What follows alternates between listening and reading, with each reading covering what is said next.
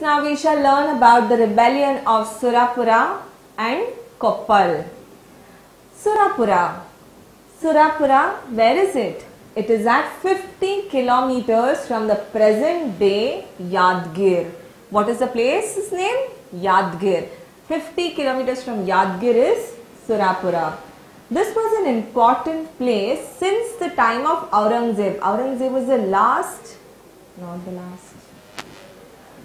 Students, now we will be learning about the rebellion of Surapura and Koppal. First, let us find out where is Surapura. It is 50 kilometers from Yadgir.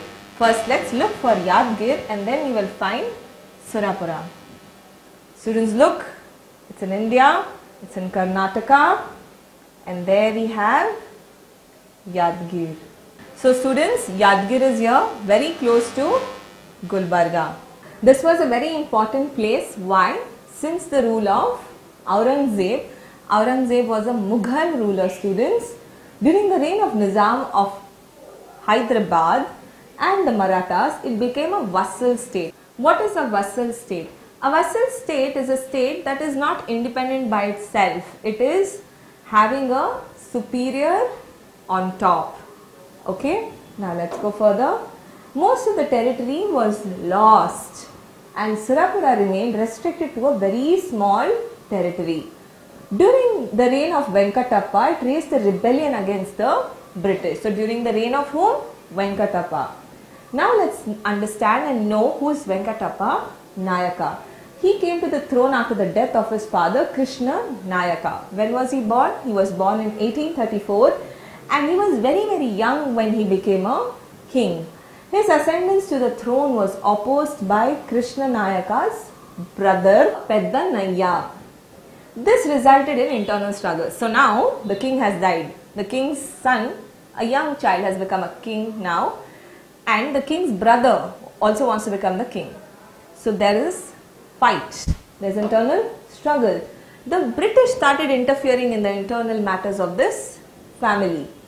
In 1842, they appointed Meadows Taylor as their resident. Resident means this person will remain in the kingdom, will give all the internal details to the British government, to the English East India Company, and they will also station a portion of their army for support.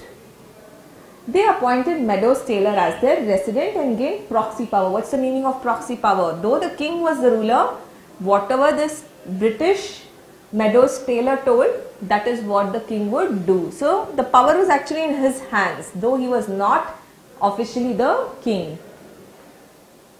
Taylor was a reformist. He wanted reforms and changes.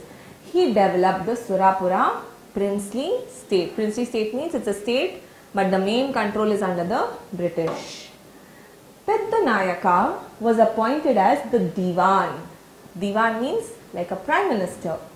Taylor conducted the land survey. He conducted land survey to understand how much land is under agriculture, how much land is wasteland, how much land is good and so on.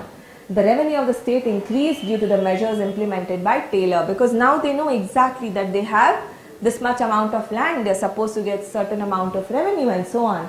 He took measures to educate Venkatappa Nayaka properly, the young son of the king who died. And Venkatappa Nayaka came to power in 1853. Now, everything looks good. He was getting educated. Why was there a rebellion so suddenly? Let us look at it. The British government was observing the various developments of Surapura. In 1857, what happened students? First War of Indian Independence. And in 1857 also, it came to the notice of the government that the representatives of Nana Sahib were present in Surapura. Nana Sahib, revolt of Indian independence. His representatives were there in Surapura. Nana Sahib is an enemy of the British. So, that created a problem. This made the British suspicious. They started doubting the King Venkatappa Nayaka. The British appointed an officer named Campbell to report on the various activities of the king. The officer submitted a report to the resident of Hyderabad that the king is involved in maladministration. So Campbell sent a report saying there is maladministration. poor administration, cheating going on here.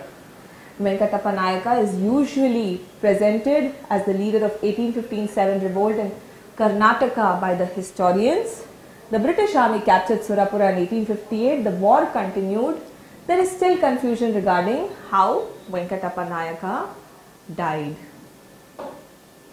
Now students, this brings us to the end of the rebellion at Surapura. Now we will learn about Veerappa of Koppal. Koppal rebellion is a very important rebellion in various armed rebellions against the British. The Koppal and the surrounding regions were under the rule of the Nizam of Hyderabad. There were exploitations. So a few zamindars who rebelled against the Nizam. So the Nizam was exploiting and these zamindars revolted against the Nizam. Veerappa is a very important person among the rebels. He was a zamindar himself. Students see so rare. First we saw that kings were rebelling.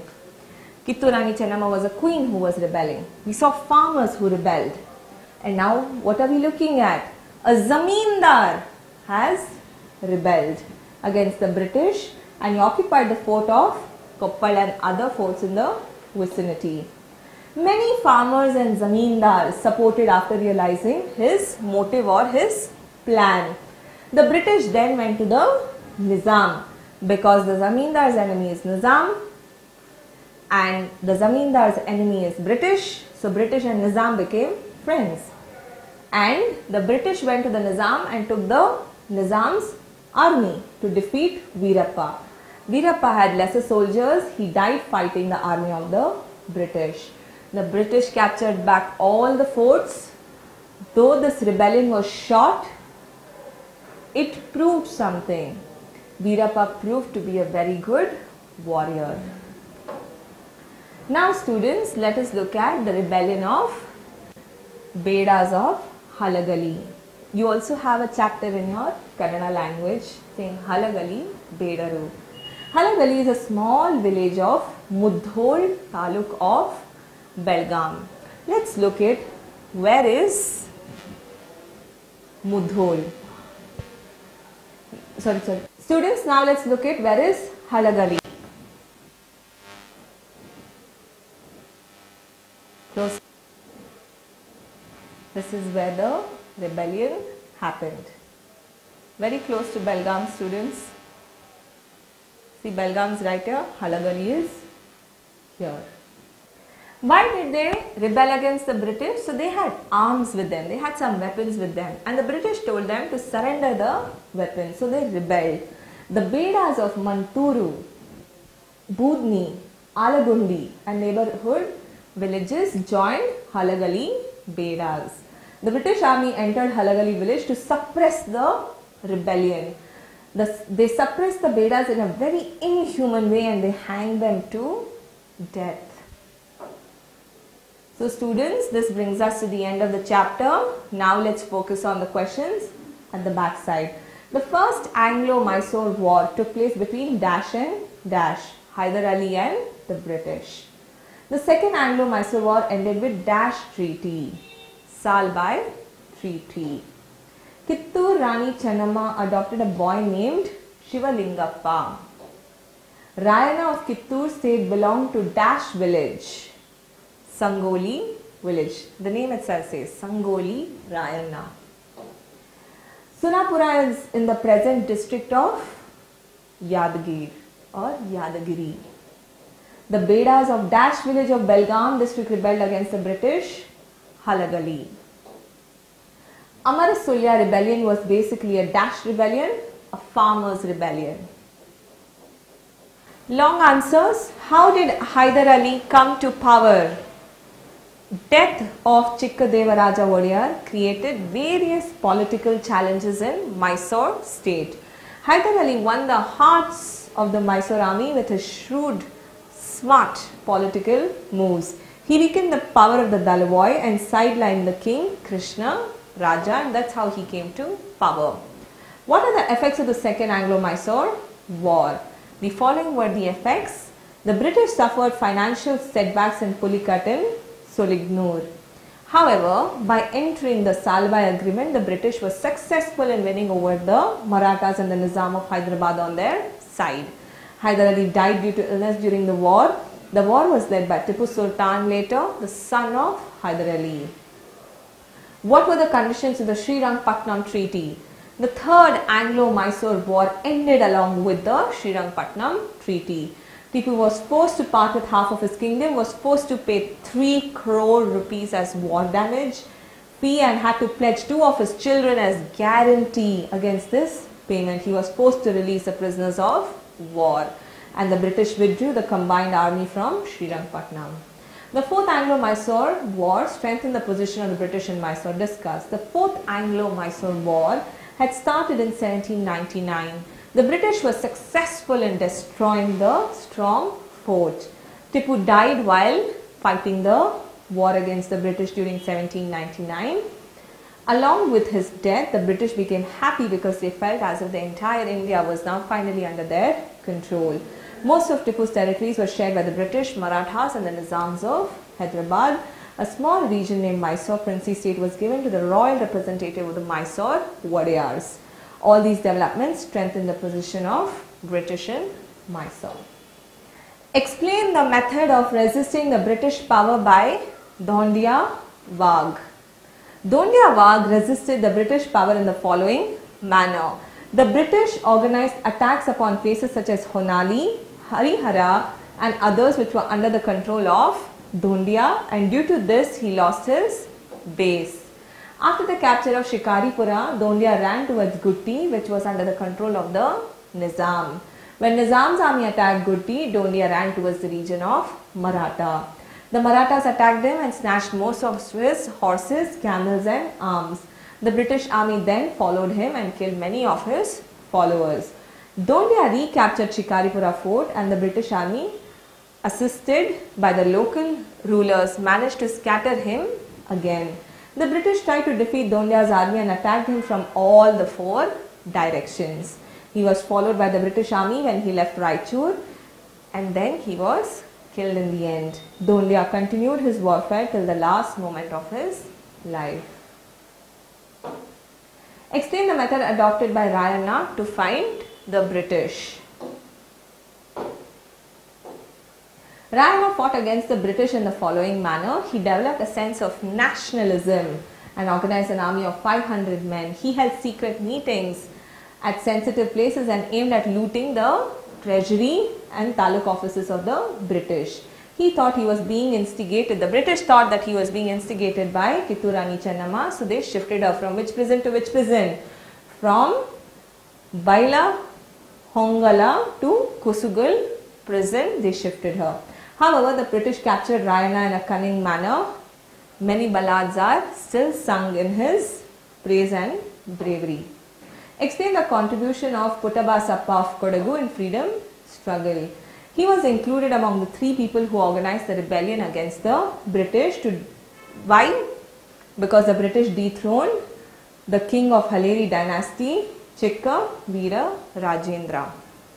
After the capture of Kalyana Swami, Puttabasappa led the Amarasulya rebellion and organized the rebels and started the rebellion in the hilly region.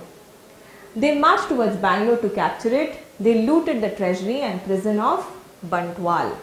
The British thought of suppressing the rebellion by seeking army from Tellicherry, Kannur and Bombay. Getting information about this, Puttabasappa and his associates fled to Sulya. Although the rebellion was not successful and Puttabasappa was captured and hanged along with his associate, it holds a very important place in the freedom struggle.